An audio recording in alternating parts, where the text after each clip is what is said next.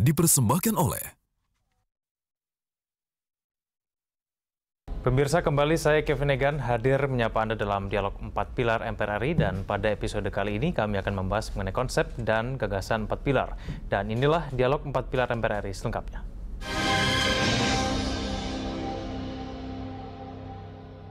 MPR RI sebagai lembaga negara yang memiliki visi menjadi rumah kebangsaan ideologi Pancasila dan kedaulatan rakyat. Secara masif melakukan sosialisasi empat pilar MPR RI. Empat pilar MPR RI terdiri dari Pancasila, Undang-Undang Dasar NRI pada tahun 1945, NKRI, dan juga Bhinneka Tunggal Ika. Untuk membahas konsep dan gagasan empat pilar tersebut, di studio telah hadir pimpinan fraksi P3 MPR RI, Bapak Dimyati Natakusuma. Pak Dimyati, terima kasih telah hadir bersama kami. Apa kabar Pak Dimyati? Assalamualaikum, baik, Alhamdulillah. Waalaikumsalam Pak Dimyati. Pak Dimyati, ini ada perubahan nih ya kalau kita bicara mengenai empat pilar. Dulu kita tahunya empat pilar kehidupan berbangsa dan bernegara. Sekarang kemudian menjadi empat pilar MPR RI mungkin Pak Dimyati bisa menjelaskan ini kenapa akhirnya diubah ini Pak? Ya karena memang putusan Mahkamah Konstitusi. Tapi tidak sebetulnya itu hanya istilah. Hmm. istilah slogan agar masyarakat lebih mudah memahami. Hmm, hmm, mau empat pilar mau empat fondasi mau empat tihang begitu. Tapi kalau kita lihat Pancasila ini kan sebagai uh, sumber dari segala sumber hukum. Okay. Harusnya lebih uh, tidak disamakan dengan pilar-pilar lain. Mm -hmm. Tapi itu mm -hmm. tadi kan pilar utama. Mm -hmm. Ada pilar-pilar lainnya yaitu mm -hmm. konstitusi, Undang-Undang Dasar 1945, NKRI mm -hmm. dan Bhinneka Tunggal Ika. Yeah. Sebetulnya semua sudah termaktub di dalam mm -hmm. Pancasila. Okay.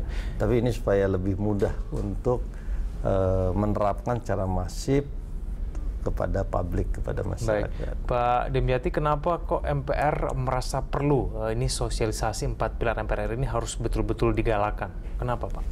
Ya memang Indonesia ini sangat besar, negara yang luas, hmm. negara yang penduduknya padat dan uh, luar biasa sebagai pasar bagi industri-industri negara besar. Hmm maka dengan sendirinya harus uh, kita terus melakukan sosialisasi ini secara masif. Hmm. Kenapa demikian? Coba kita lihat saudara kita yang uh, di ujung-ujung itu sudah mulai meneriakan ingin melakukan disintegrasi bangsa, ingin memisahkan dengan Indonesia. Miris sekali hmm. dan sudah mulai melakukan kampanye di luar-luar, melakukan uh, black campaign terhadap Republik. Hmm dan juga banyak-banyak yang lainnya. Maka kita harus menumbuhkan rasa kecintaan, idealisme kepada uh, masyarakat Indonesia secara keseluruhan dari Sabang sampai Merauke. Baik, Pak Dimet ini kan sosialisasi harus ke seluruh rakyat Indonesia ya, tapi kemudian mungkin ada tidak eh, segmen-segmen uh, tertentu di kalangan masyarakat, golongan masyarakat tertentu yang sebetulnya menjadi target dari sosialisasi ini, yang yang harus betul uh, tahu betul mengenai empat pilar sebetulnya ini harusnya di para cendikia hmm.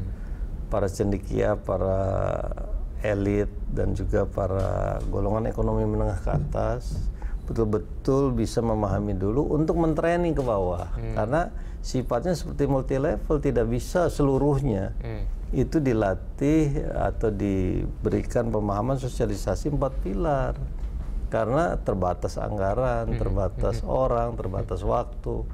Maka Indonesia itu sangat luas dari Sabang sampai Merauke. Bayangkan dari Aceh sampai ke Papua itu tidak cukup kalau kita datang ke setiap desa saja. Bayangkan udah berapa desa di Republik ini. Datang ke satu tidak cukup dalam setahun, dua tahun, tiga tahun, empat tahun, lima tahun tidak cukup. Perlukah ada lembaga khusus Pak Dimyanti yang kemudian untuk mensosialisasikan empat pilar ini? Mengingat ini kan sangat penting. Ya memang uh, dulu kan ada BP4 namanya hmm. Yang dilakukan, tapi kan tidak tercapai target. Buktinya Timur Timur bisa lepas yeah. kan begitu. Hmm. Ini kan tiada lain adalah karena kurangnya tadi memberikan rasa kecintaan dan sebetulnya sosialisasi ini mudah kalau ekonomi masyarakat meningkat, kesejahteraan meningkat. Hmm. Ini problemnya kan hanya dinikmati oleh segelintir orang. Maka kita harus menumbuhkan. Kalau misalnya masih terjadi kolusi, hmm. korupsi, nepotisme di republik ini, maka empat pilar ini tidak sukses.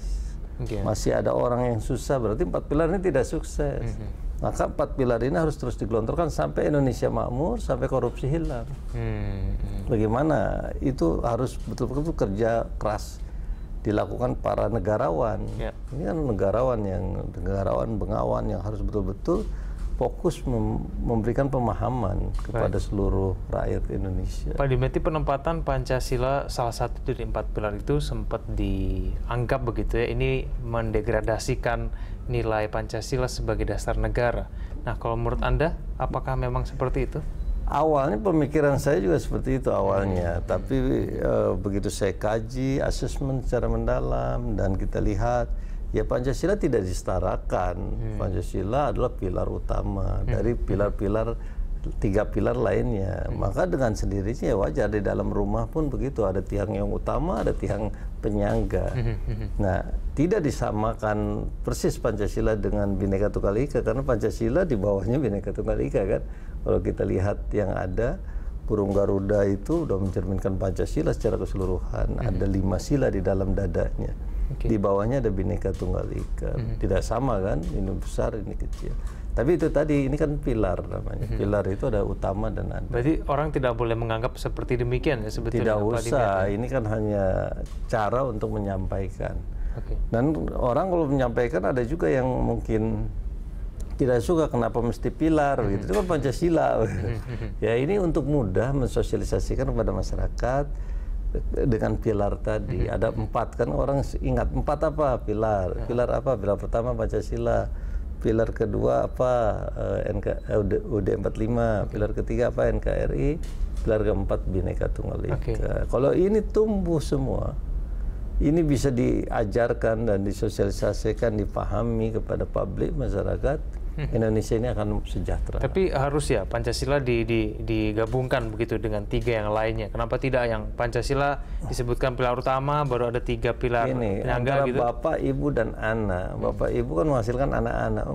Disejajarkan ya nggak apa-apa namanya dalam satu keluarga, satu kelompok begitu sama dengan Pancasila. Oke. disatukan saja tidak problem, tapi tetap ada perbedaan. Hmm. Kayak bapak dan ibu dengan anak-anak yang kecil-kecil itu ya memang beda dong. Bapak ibu menghasilkan anak-anak. Oke. Tapi itu tadi ya itu di dalam satu keluarga. Keluarga itu ada berapa orang? Dihitung lah itu.